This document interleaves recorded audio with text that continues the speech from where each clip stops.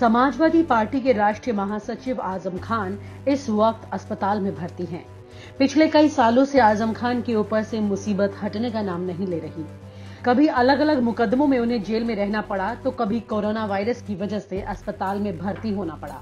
लेकिन इन सभी हालातों में अगर कोई समानता रही तो वो है समाजवादी पार्टी के सर्वे सर्वा मुलायम सिंह यादव के परिवार के साथ उनका लगाव।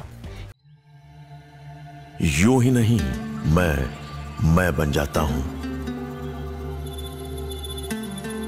रोज पहले किरण का छोर ढूँढने निकल जाता हूँ।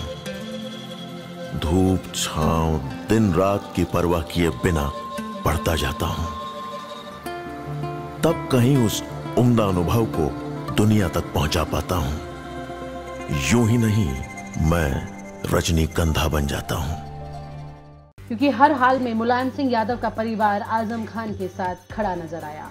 आज आज़म खान अस्पताल में हैं और तरह तरह की अफवाहें भी बीच बीच में आज़म खान को लेकर आ रही हैं। मगर इन तमाम अफवाहों को दूर करते हुए आज़म खान के स्वास्थ्य पर ध्यान देते हुए समाजवादी पार्टी और मुलायम सिंह यादव का पूरा परिवार एक साथ दिख रहा है। आप इस बात से अंदाज़ा लगा सकते हैं कि आज़म खान समाजवादी पार्टी और मुलायम सिंह यादव के परिवार के लिए कितनी अहमियत रखते हैं कि आज़म खान का मेडिकल बुलेटिन खुद अखिलेश यादव और समाजवादी पार्टी के ऑफिशियल ट्विटर पर समय समय पर ट्वीट हो रहा है। मुलायम सिंह यादव के परिवार के लोगों की ड्यूटी लगाई गई है कि आज़म खान के स्वास्थ्य में कोई कमी ना छोड़े।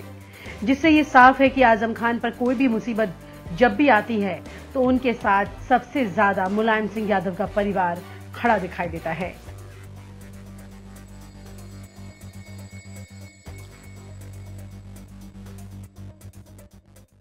और आप हमसे जुड़े रहने के लिए सब्सक्राइब करें YouTube पर, फॉलो करें ट्विटर पर और लाइक करें फेसबुक पर। और ज़्यादा जानकारी के लिए न्यूज़ नशा की वेबसाइट पर जाएँ। आपको टाइप करना होगा सिर्फ़ न्यूज़ नशा।